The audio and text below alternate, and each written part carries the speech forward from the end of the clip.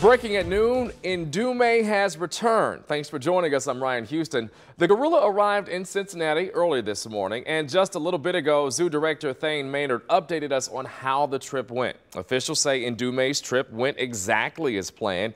Well, you may think zookeepers tranquilized the silverback gorilla for the trip, but that did not happen. They've been training him to enter a crate by himself, which is exactly what he did. He then slept most of the trip, but was given food and water along the way.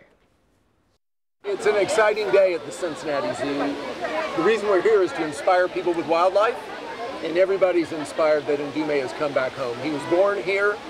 He needs to live with other gorillas and he will soon do that again. Everybody loves our gorilla program. It's one of the greatest programs we've had. We've had 50 babies born here, and uh, down the road we'll have some more.